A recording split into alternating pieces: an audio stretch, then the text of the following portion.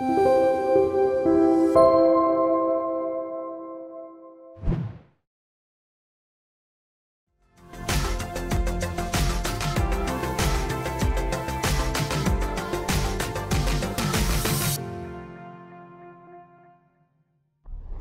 день, с вами доктор Лена. Вообще-то я онколог, но сегодня мы с вами поговорим о питании, о питании онкологических пациентов. Что может вызвать у пациента похудание или отсутствие аппетита в принципе? Безусловно, рак. Даже если вы много едите, рак может мешать вашему организму усваивать все необходимые ему питательные вещества, ну, попросту говоря, питаться вами. По сути, это та же паразитарная инвазия. Второе – это лечение. Безусловно, такие методы, как химиотерапия, лучевая терапия, имеют побочные эффекты, из-за которых становится трудно есть. А, например, эти методы могут вызывать тошноту, рвоту, язвы во рту, усталость, сухость или явление мукозитов различной локализации. А, боль. Боль, вызванная раком или лечением, может практически привести к потере аппетита. Когда что-то болит постоянно или очень интенсивно, о еде вспоминаешь в последнюю очередь, это невероятный стресс для организма, и человек совершенно не испытывает потребности в еде. А она, эта потребность есть, и это как замкнутый круг.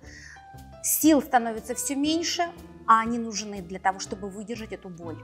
Настроение – Настроение, чувство грусти, беспокойства э, может привести к потере аппетита. Мы, конечно, привыкли думать, что мы с вами сами себе крутые психологи, что совершенно нам не нужна психологическая помощь, никакой депрессии у нас нет.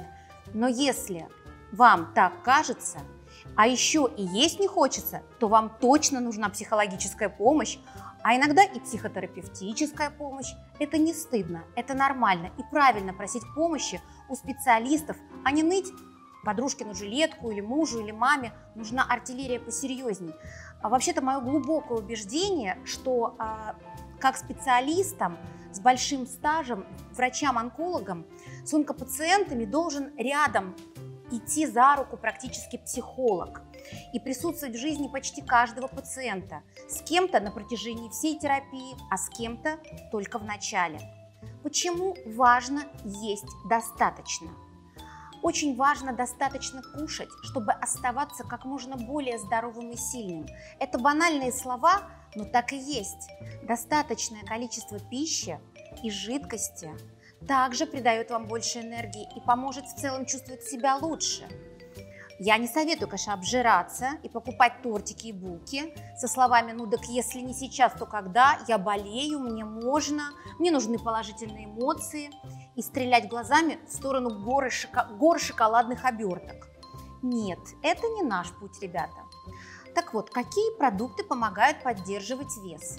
Если вы его действительно теряете и не можете набрать, а надо набрать, употребление в пищу продуктов с большим количеством калорий и белков поможет поддержать ваш вес. И вот некоторые примеры таких продуктов.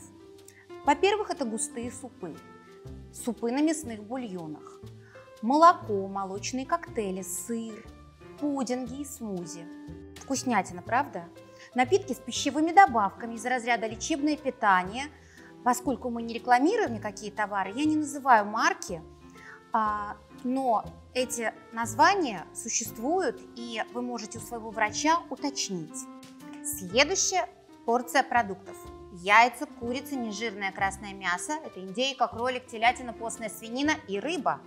Йогурты, мороженое, арахисовое масло, орехи, сухофрукты и батончики мюсли – но это же прекрасно, все это вкусно. И самое главное, что э, вы можете сами себе помогать. Врач помогает вам лечением, вы сами себе помогаете правильным питанием. Показано 5-6 небольших приемов пищи в день вместо трех больших, Если вы пытаетесь набрать вес, ешьте полезные закуски между приемами пищи, когда вы чувствуете голод.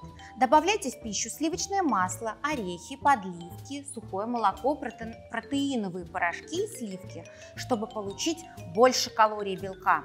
Пейте жидкость между приемами пищи, а не во время еды, чтобы набрать жидкость в желудок и почувствовать насыщение раньше положенного колоража.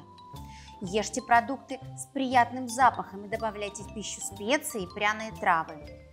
Ешьте с семьей или друзьями.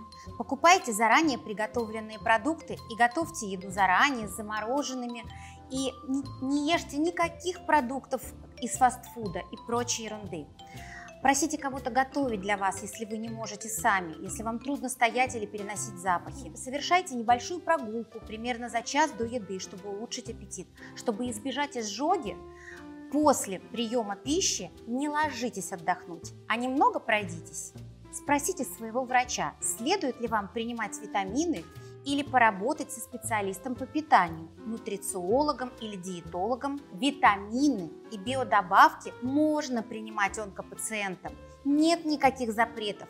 Витамины не вырастят вам рак. Это абсолютная непреложная истина, и мы забываем про этот миф. Витамины онкопациентам можно при любой стадии, на фоне любого лечения, в ремиссии, всегда.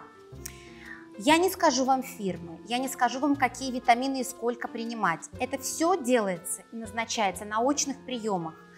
Можно даже проводить телеконсультации, но я хочу вам сказать, что вы должны знать и развенчивать мифы среди таких же, как вы, онкопациентов.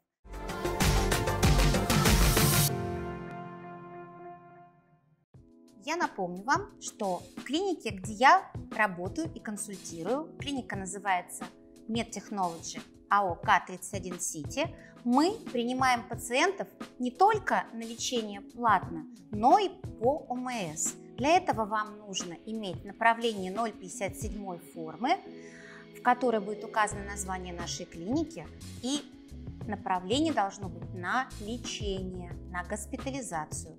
Лечим мы пациентов с немосковскими полисами по шести болезням. Эти шесть нозологий следующие. Рак молочной железы, рак кишки, рак почки, рак простаты, рак легкого и меланома.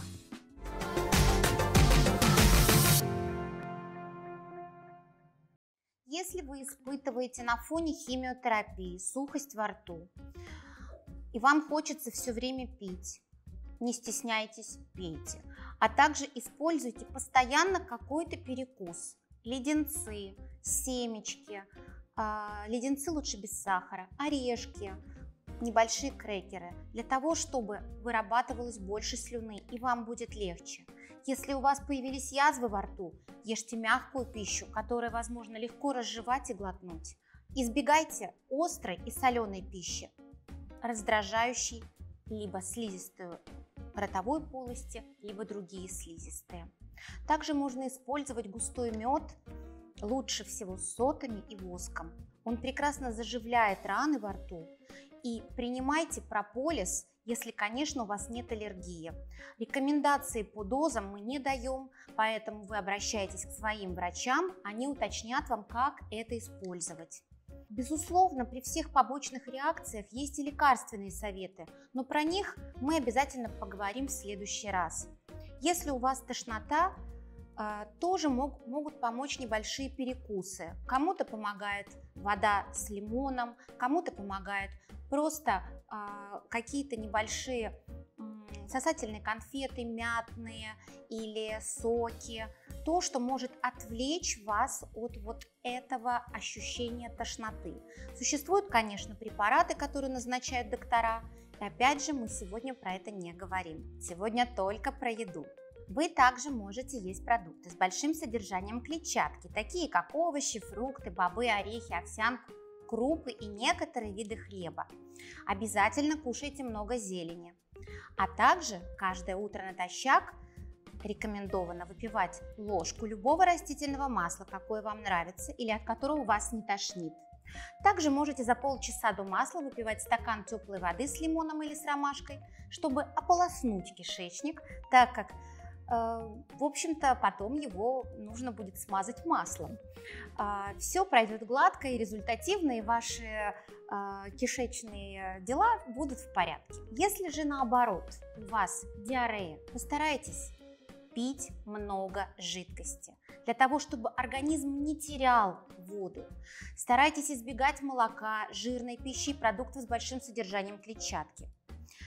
Существуют различные солевые растворы, которые продаются в аптеке, и они восполняют необходимые потребности в микроэлементах и полезных веществах. Когда вам следует позвонить своему врачу и в каких случаях даже вызвать скорую? Если вы не удерживаете пищу или воду в желудке, не можете проглотить, сразу происходит рвота, и это Опасно, потому что вы не питаетесь. С этим нужно будет срочно справляться вместе с врачом. Если есть сильная боль в животе, острая, не купируемая никакими лекарствами, срочно к врачу. Если есть головокружение и слабость, когда не получается самостоятельно себя обслуживать и нет совершенно сил, чтобы дойти до туалета. Если есть лихорадка выше 38 градусов и неоднократно повышение температуры. Есть ли лекарства, которые могут повысить ваш аппетит? Да, такие лекарства существуют. Врачи могут назначить вам такие лекарства. Например, это гормональные препараты. Стероиды стоит принимать все-таки с осторожностью и под контролем и разрешением врача, ибо ряд, из, ряд этих лекарств вызывает некоторые побочные эффекты. Например, на желудок. Может измениться кожа, может измениться фигура. Нужно очень внимательно относиться к тому, что снятие этой терапии должно быть постепенным. Существуют ли другие методы лечения, которые могут помочь, если у пациента нет аппетита или он теряет вес? Да, существуют. Люди, которые не могут есть самостоятельно, но чьи тела могут переваривать пищу, как бы это странно ни звучало, могут получать кормление через зонд – иногда это единственная возможность покушать для человека. Люди, которые получают такое питание, должны а, все-таки а, получать еще и дополнительную нутриционную поддержку специальным лечебным питанием, которое продается в аптеках. Почему важно правильно питаться? Очень важно поддерживать свой организм в рабочем состоянии и не изнашивать его. Ряд продуктов, которые считаются полезными, о которых мы уже говорили, это фрукты, овощи, различные злаки и прочее, помогают избежать определенного ряда сердечно-сосудистых заболеваний, уменьшают количество инсультов. Также уменьшается количество пациентов с ожирением, а ожирение, как мы с вами знаем, это все-таки риск развития рака. Очень важно использовать продукты с клетчаткой.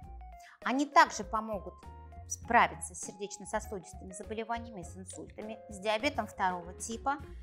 И продукты, которые богаты клетчаткой, вам всем известны. Это овощи, фрукты, бобы, орехи, овсянка, цельнозерновой хлеб и крупы. Вы можете узнать, сколько содержится клетчатки в пище, прочитав этикетку с питанием. Врачи рекомендуют ежедневно употреблять от 25 до 36 граммов клетчатки. Теперь продукты с фолиевой кислотой. Фолиевая кислота – это витамин, а вы помните, да, что онкологическим пациентам можно витамины. Так вот, этот витамин важен не только для беременных, которым он помогает, например, исключить врожденные дефекты у ребенка. Любой пациент, который потенциально может забеременеть, он может являться и онкологическим пациентом в прошлом, потому что наша онкология идет вперед, и ряд моих пациентов уже стали счастливыми родителями, и это очень хорошо. Так вот, фолиевую кислоту можно и нужно принимать. Ряд продуктов содержит фолиевую кислоту. Это хлопья для завтрака, апельсины и апельсиновый сок. Это листовые зеленые овощи. Продукты с кальцием и витамином D полезны не только младенцам и детям, но и взрослым, а также пациентам, у которых есть онкологические заболевания. Взрослым необходим кальций только в том случае, если он понижен. Для того, чтобы начать прием кальция, нужно сделать биохимический анализ и посмотреть содержание кальция. Просто так для профилактики пить кальций не нужно. Это нужно делать для профилактики только пожилом возрасте, для того, чтобы избежать остеопороза, состояние, при котором кости становятся тонкими и ломкими и могут случаться переломы. Витамин D, которого недостаточно в наших российских широтах, ни при каких обстоятельствах не нужно избегать приема витамина D, тем более, если вы сделали анализ и он показывает низкое значение. Существует ряд исследований, которые подтвердили, что пациенты, у которых был низкий витамин D, а, чаще заболевают раком молочной железы. Это было ретроспективное исследование, и а, в целом очень часто пациенты, которые а, постфактум имеют заболевание рак молочной железы, отмечали, что у них был низкий витамин D. Для того, чтобы назначать витамин D, нужно знать его уровень, поэтому доза всегда выбирается индивидуально. Продукты из белков. Белок помогает вашим мышцам оставаться сильными. К здоровым продуктам относятся продукты с высоким содержанием белка, такие как курица, рыба, яйца, бобы, орехи, соевые продукты. Красное мясо также содержит много белка, но содержит еще и вредные для здоровья жиры.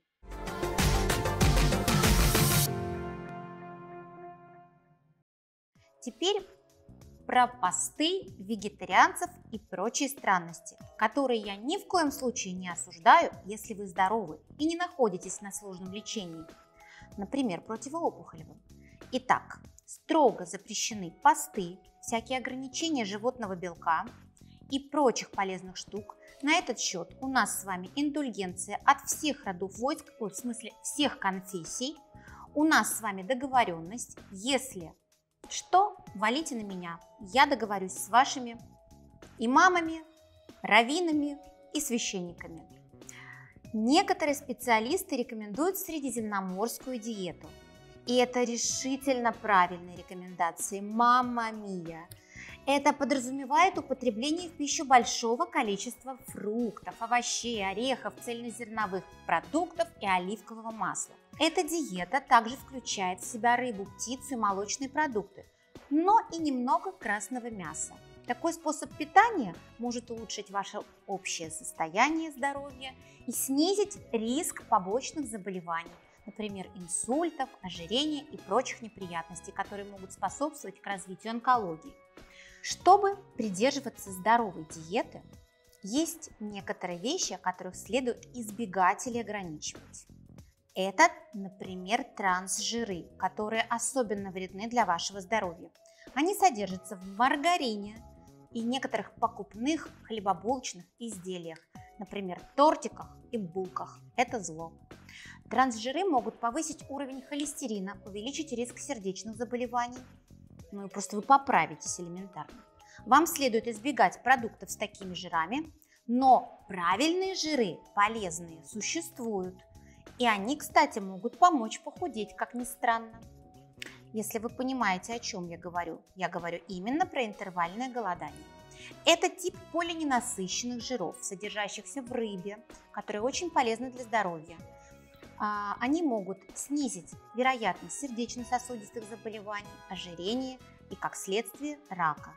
Принимать омегу-3 не только полезно для организма, но и для красоты в особенности полезно, если вы понимаете, о чем я, дамочки.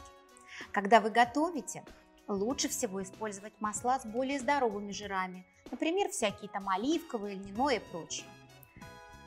Сахар.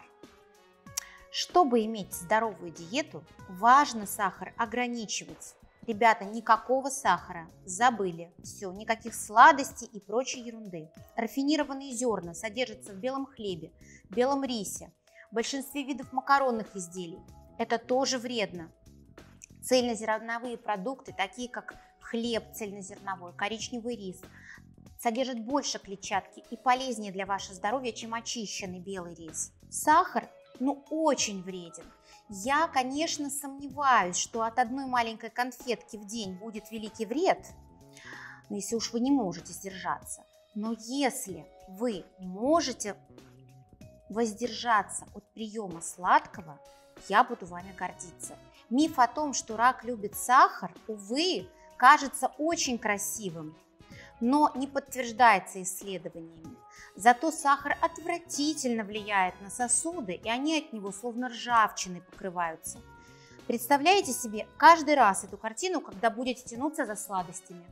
Отказ от сахаросодержащих напитков, газированных, энергетиков также поможет улучшить ваше здоровье. Ибо это чистый сахар, да еще со всякими там красителями и неприятными добавками. Теперь про красное мясо. Исследования показали, что употребление большого количества красного мяса может увеличить риск определенных проблем со здоровьем, включая болезни сердца и рак. Вам следует ограничивать потребление красного мяса. Что имеется в виду под словом «красное мясо»? Это всякие колбасы, копченые мясные изделия, сосиски, сардельки, простите, но шашлыки и прочие вкусные вещи. Я все понимаю, но, увы, ограничиваю.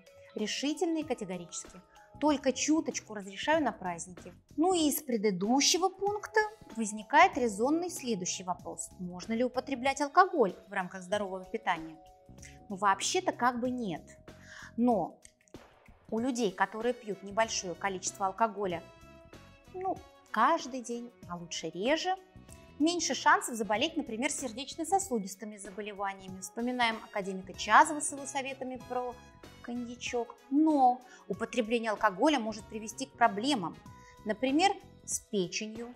Некоторые виды рака чаще возникают, если женщина часто употребляет алкоголь. У женщин даже один напиток в день может увеличить риск развития рака груди. Прошли исследования, и это доказано, увы. Это не из воздуха взята информация. К этому нужно прислушиваться. У мужчин чуть больше разрешено употребление алкоголя, поскольку есть разница в расщеплении по времени у мужчин и у женщин. Очень важно, чтобы доза была умеренная и не приводила к интоксикации организма. Постепенное увеличение потребности употребляемого алкоголя с каждым днем говорит о том, что проблема наркологического плана назревает и стоит либо самостоятельно остановиться, либо прибегнуть к помощи специалиста. Это не стыдно, это важно. Умеренность и качество – вот наше с вами спасение. Сколько калорий нужно употреблять каждый день? Безусловно, это все индивидуально. Существуют различные калькуляторы специальные, которые высчитывают индексы массы тела и рассчитывают потребности конкретного человека в калориях. Об этом обязательно нужно поговорить с вашим врачом, с онкологом или с диетологом и обсудить это. Это не скучно, это интересно питаться правильно. Просто нужно смотреть передачи с Никитой Полуда. Вопрос интервального голодания онкопациентов. Он постоянно возникает у пациентов, и они присылают мне вопросы в директ э, моего инстаграма. Доктор Лена, посоветуйте, как быть, хочется похудеть, интервальное голодание, как вы относитесь, а если я на химии, а если я на таргетной терапии или на гормонотерапии. Так вот, я этот вопрос изучила и знаю не понаслышке, а, поскольку сама я окунулась в мир интервального голодания и являюсь любителем этой истории. А, просто это подошло мне.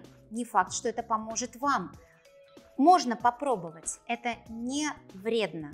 Это интересная история, потому что она объясняется очень логичными а, ситуациями и состояниями организма.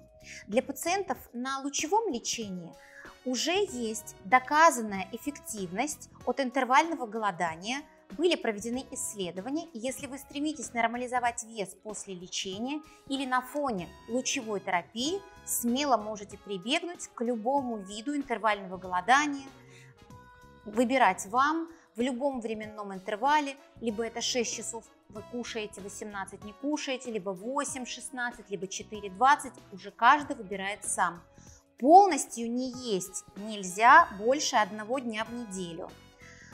Точка. Никаких длительных голоданий для лечения рака официальная медицина не приемлет.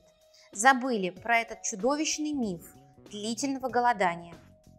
В период интервального голодания важно соблюдать полезность вашего питания.